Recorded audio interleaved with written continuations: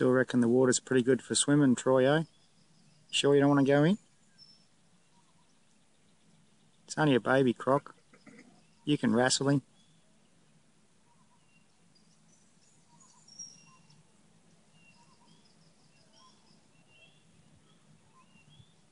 Wish I had a proper camera with a proper zoom on it, eh?